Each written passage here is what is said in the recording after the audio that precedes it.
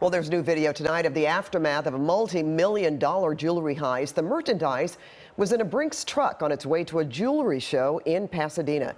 KCAL News reporter Joy Benedict is here now with that new video and more on how the theft happened. Joy? Yeah, Pat, this one was brazen and what appears to be a coordinated and planned attack on this Brinks truck. Tonight, we're getting a better look at what was inside the truck and what happened on that doomed trip on the 5 freeway, thanks to body cam video obtained in a lawsuit and given to us through attorneys. That was That was our seal. That's your seal. We had a lock on here, You got a lock on here, yep. and it's gone. It's a call two deputies weren't expecting on this early morning almost a year ago. A theft at a truck stop, valued in the millions. How much, of, how much of inventory do you guys think you're carrying?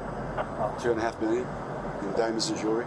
It's a story we first told you about last summer when someone broke into the back of a semi truck trailer parked at this Flying J in Lebec. Inside, valuable jewelry. Are you guys marked with Brinks at all on the truck? On the On the truck. truck and everything, yeah. Now we're getting a look at the aftermath thanks to the body worn cameras of two LA County Sheriff's deputies. We're talking about mom and pop jewelers, and this is not lifestyles of the rich and famous. Jerry Kroll is the attorney representing 14 plaintiffs, jewelers who filed a lawsuit against Brinks, the company responsible for the transport that night, as the gems were heading from a jewelry show in San Mateo to one in Pasadena. The organizer of the show, Arnold Duke, has told everybody that his estimation is that we're talking about $100 million of jewelry in this loss.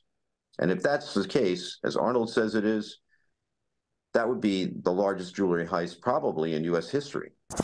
The heist happened on July 11th, 2022.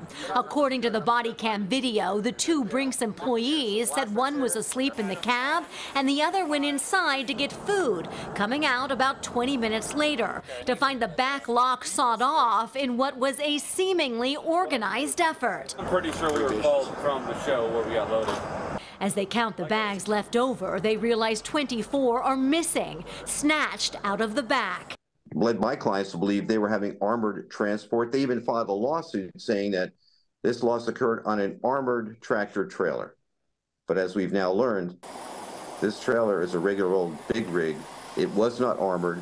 It's basically no different than the goods that are hauled like groceries to Vons.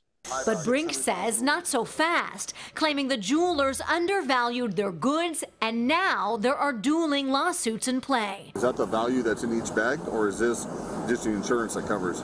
No, that's the that's the declared value of the customer put on it. In a statement, a Brinks spokesperson says, according to the information the customers provided to us before they shipped their items, the total value of the missing items is less than $10 million. Brink says if they knew the jewelry had a higher value, they would have used a different mode of transport, continuing in their statement to say, We held up our end and fulfilled our contract, settling claims with three affected customers. The others have chosen to litigate, admitting under oath that they undervalued their goods and even did so regularly. Tell them there's 49 peat bags in here. The, the paper says 73. And as courts work out who's owed what, someone got away with millions in precious stones and jewelry on that doomed trip last summer. So you don't see this every day. That takes two of us. Now, the LA County Sheriff's Department says the case of the stolen jewelry is still under investigation. As for the lawsuits, they head back to an LA courtroom next week. One. What a case, Joy. Thanks so much.